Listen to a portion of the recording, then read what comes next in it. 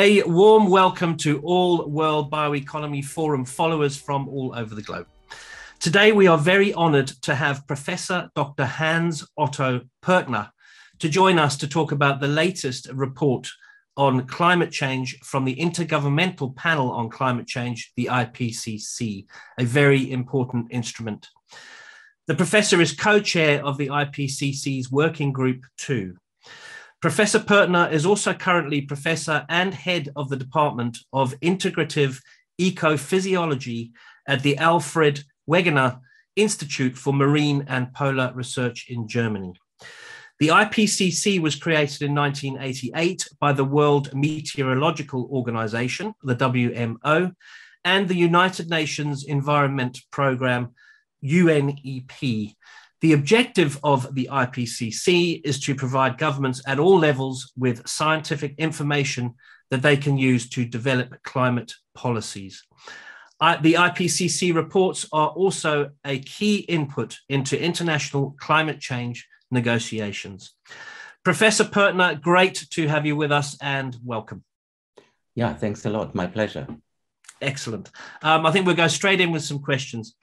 Um, I, I, have to say, first of all, um, I looked at your uh, your biography and your CV, and I think if I was to read it out completely, it would probably take about an hour because that's you've done a lot of work, a lot of work there. So I think first of all, can you tell us about your uh, your work on research in your career, and then tell us a bit more about your role as co-chair of Working Group Two for the IPCC. Thank you. Yeah, yeah. Thanks, thanks a lot for that question. Certainly, I, I came into uh, the topics that are covered by the IPCC from the side of my own research in marine uh, ecosystems, trying to understand how how marine animals uh, specialize on different climate zones. But my interest certainly goes beyond the and always went beyond the marine because I'm an animal physiologist uh, with an interest in cause and effect understanding of what the um, what the environment means, um, how organisms have to um, adapt, and how they are challenged by environmental uh, changes. And this is exactly what uh, what climate change um, does. So in, in the marine realm, we were comparing um, animals from different climate zones and uh, we were looking at how they specialize on different temperature regimes uh, from the temperate uh, and tropical to, to the polar and seeing how, how the thermal specialization is influencing how these organisms live. And, and this comes together with insight how CO2, that is a key driver in climate change, is actually influencing these organisms. In the ocean, this means they're exposed to ocean acidification as the CO2 causes, uh, causes the pH, which is a measure of the acidity to, to fall and, and uh, challenges their physiology, especially capacity of calcium carbonate shell formation in, in systems like coral reefs or just simply in bivalves and snails and so forth. And then there is oxygen. Oxygen is an issue in the ocean with warming. Uh, we are losing um, oxygen uh, progressively. There's enhanced stratification, which strengthens the oxygen minimum zone. So this is roughly the, the sort of complexity out of which I moved into, uh, first of all, preparing chapters on ocean systems and climate change um, impacts on ocean systems for the IPCC, leading those chapter teams. And then in the last assessment cycle at the end, there was the idea, yeah, we could do more and and maybe in, introduce some of these uh, thinkings also uh, more broadly and also into the terrestrial ecosystems, which are, I think, uh, also at uh, in, in the core interest of, of the bioeconomy uh, forum. Um, but I, there are certainly human uses also of the ocean and of, of the ocean ecosystems with an interest to uh, use those sustainably. So that's where I see the connection. I'm, I also have ties uh, with uh, the, the biodiversity panel, which is a mm. sister organization of the IPCC. Uh, we had a, the first ever official collaboration uh, mid of last year and published a report on, on that. And that has actually also been considered in the preparation of our working group uh, two um, report, which was released in the end of February of, of this year. So quite a complex enterprise, and it's, Mm. it's a time-eating enterprise. I can I can tell you, and it's uh, uh, but it's it's it's so very useful and important. I think to uh, bring the scientific knowledge to the fore and inform policy and society with respect to where we should be headed in the future. And the, the situation is is challenging. We we- we are living uh, in a situation where it's very urgent to take sufficient action on mitigation, on nature protection, on by sustainable use, turning to sustainable uses of, of the biosphere and stop uh, the era of overexploitation. Yeah, yeah, yeah, yeah. Fascinating, fascinating um, background that you have there. So, so what would you say in a sentence to climate change, skeptics now? What would you actually say? Well, they have missed uh, some important information. Otherwise, there wouldn't be uh, skeptics. I mean, we- we Yeah. clearly live in a time where we get a, a more and more in-depth understanding of how climate, how biodiversity, and how human society are intertwined. Ecosystems can uh, exist uh, without the human species, but the human species cannot exist without healthy ecosystems. We are dependent um, on the services that these ecosystems uh, provide, be it clean air, be it clean water, be it coastal protection, and, and so forth. And healthy soils are the basis of food production, and, and biodiversity is uh, so meaningful in, in, uh, in keeping all of the functioning in those, those ecosystems. So, I mean, just saying we are skeptical about whether climate change happens, they haven't understood what the use of fossil fuels means in, in Yeah. Earth's history, on the time scale of Earth's history, and and they haven't understood what uh, the whole how the whole planet is functioning. Great, excellent, thank you. Um, moving on to the next question. Uh, the IPCC has already issued two reports this year. The first in February on impacts, adaptation, and vulnerability, and the second on just the 4th of April, stating that the time for action is now, and with the notion that we can halve emissions by 2030. As co chair of the IPCC, how do you see the progress of this ambitious target of the Paris Agreement? Well, very briefly said, we have these nice, nice goals that have been agreed in the policy arena um, with in the Paris Agreement, the Aichi biodiversity targets. Um, we have these goals, yes, and they are nice to follow. And there's also been a, a discussion of the time uh, scales uh, and how this should proceed. But we are far from keeping to these goals, and that is um, we are having a huge implementation gap.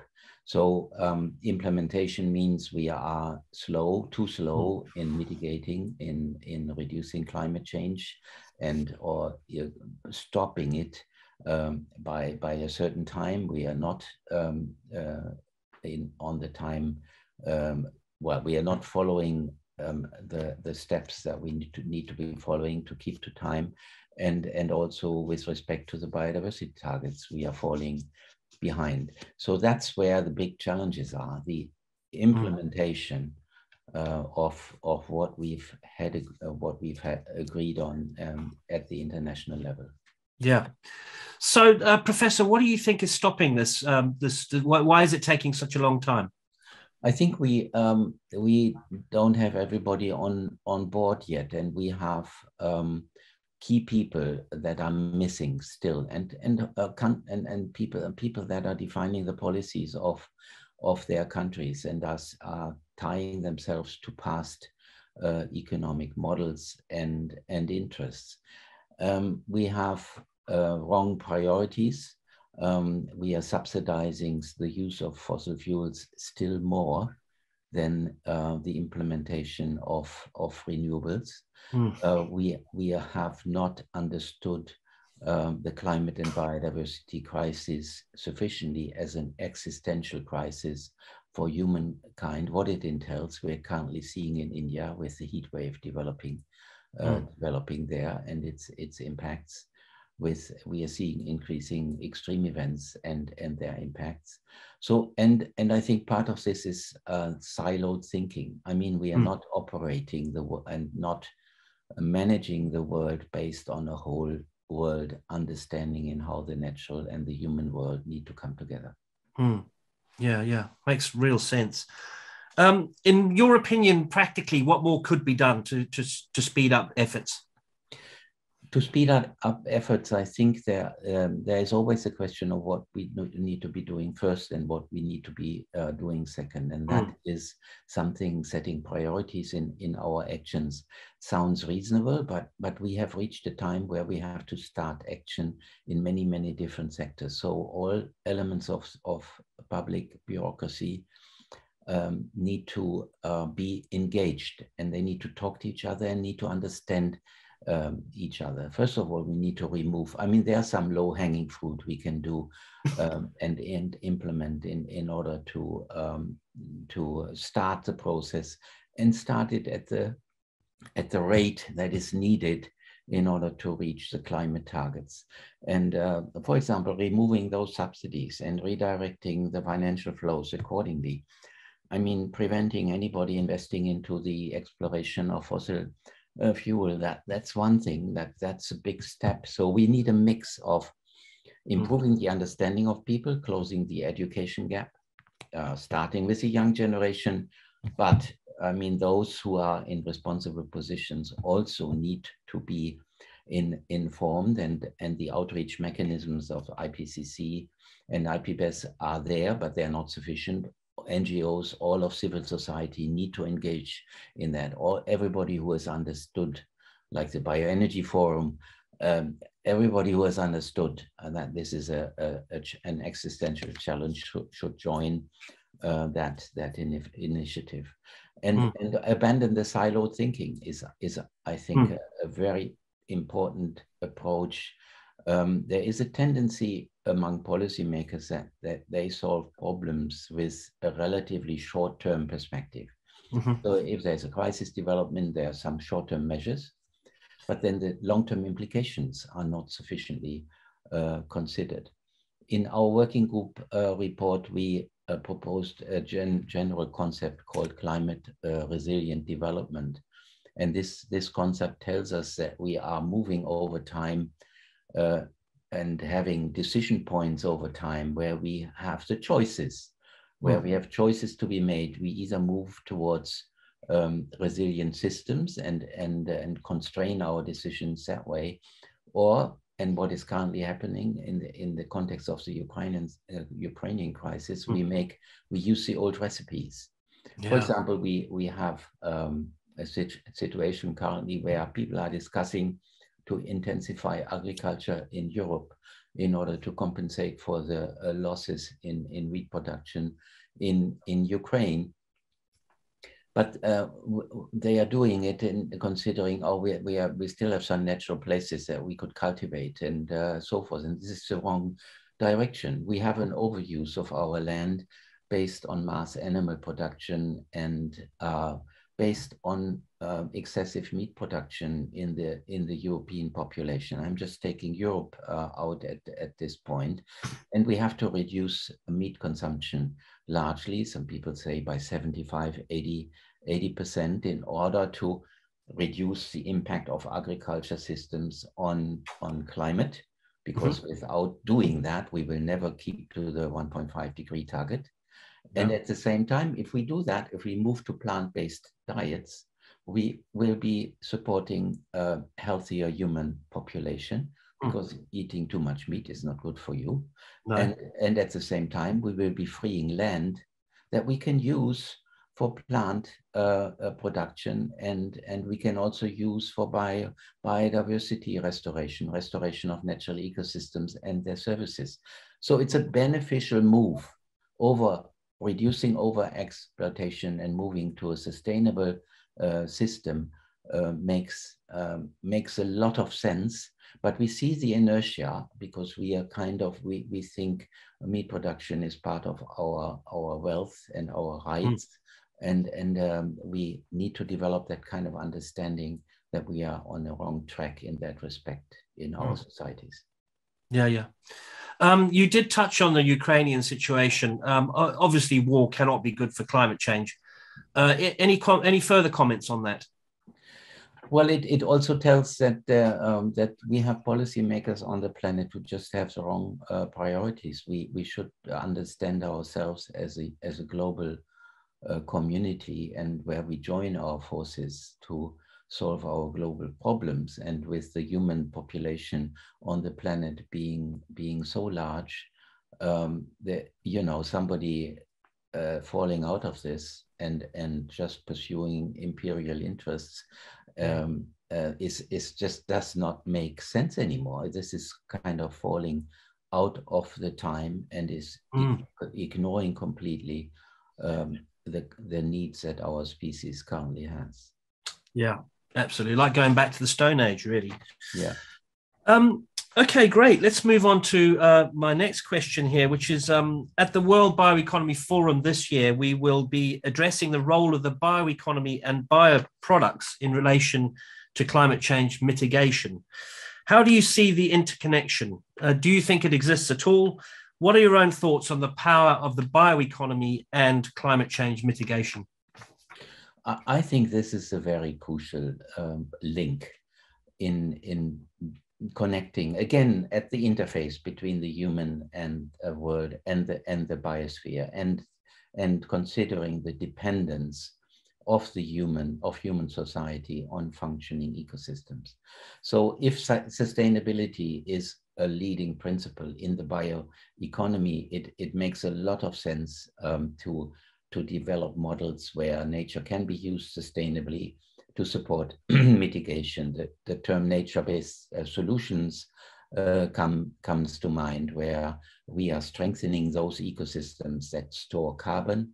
Carbon-rich ecosystems exist on land, they exist in the ocean, and they, they exist even in areas, managed ecosystems where healthy soils would store more car carbon than degraded, overexploited uh, soils. So moving towards health for ecosystems and the planet is, is should be an important part of, of bioeconomic considerations. And there are many places on the planet where bioeconomy is already and is an essential element in supporting livelihoods.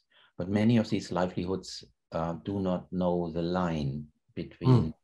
Uh, between or from where, where we abandon the, the sphere of sustainability and go to uh, go to ex exploitation. I mean, cutting down rainforests and replacing rainforests with uh, soy mon monocultures on large areas is, is removing the capacity of an important system for the global uh, for the for the global climate, and it is uh, uh, replacing biodiversity with a monoculture system, and and this this is not sustainable.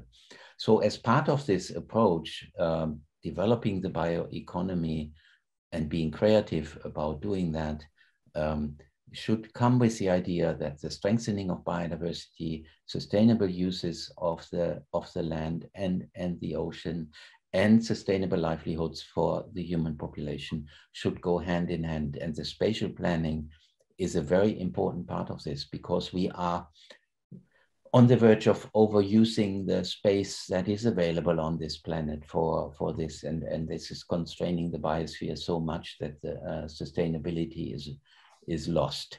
Uh, so we need to protect and conserve. We need to restore ecosystems. We, we need to uh, um, develop them. And, and the idea is that we are having is that we are developing a mosaic of protected mm-hmm. spaces. Mm -hmm mm-hmm. to give nature its own right. We have a mosaic of, of sustainable use spaces. There are corridors between those co- corridors, also between the protected spaces where species can move according to the, the changing climate. This is already on, ongoing. And then we have spaces which are intensively used by the human population, but still we can maintain biodiversity and ecosystem services in those areas. Green cities mm. are an important picture um, mm.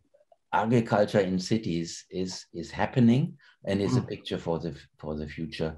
Mico, mixing ecosystem components with uh, human uses is is an important vision and has been around in in traditional cultures.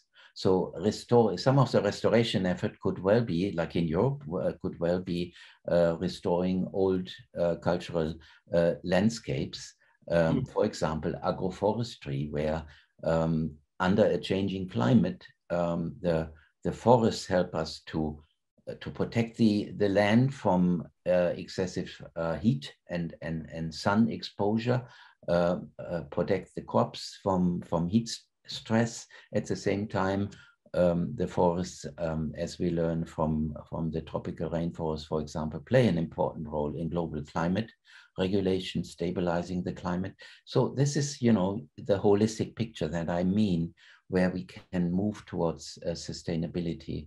But again, the foundation is, is an in-depth understanding that this is an existential necessity. Yeah, yeah, yeah, yeah. Excellent. Thank you for that uh, very comprehensive answer. Um, my final question to you here now is uh, you'll be giving a keynote speech at our forum which will be held in uh, the um, in Ruka in Finland in September, and um, you'll also be taking part in a panel discussion.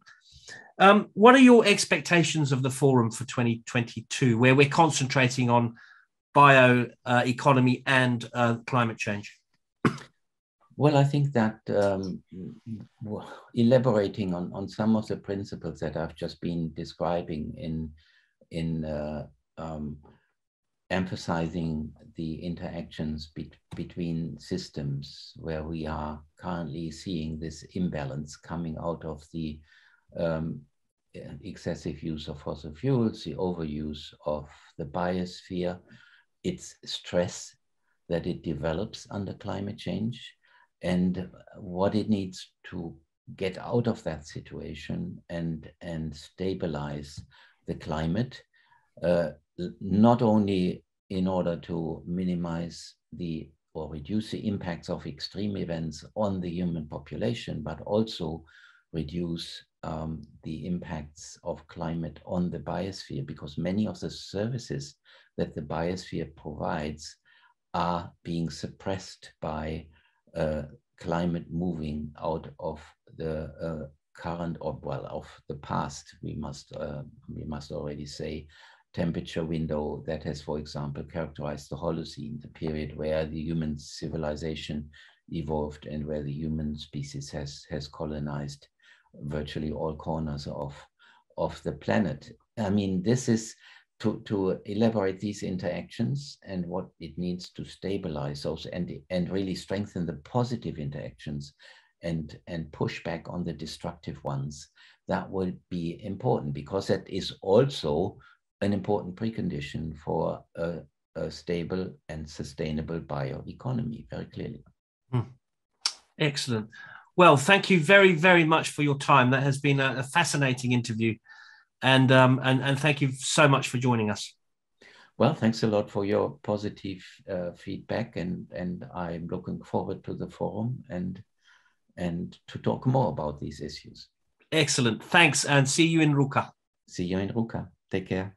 Thanks Thank you. Bye bye.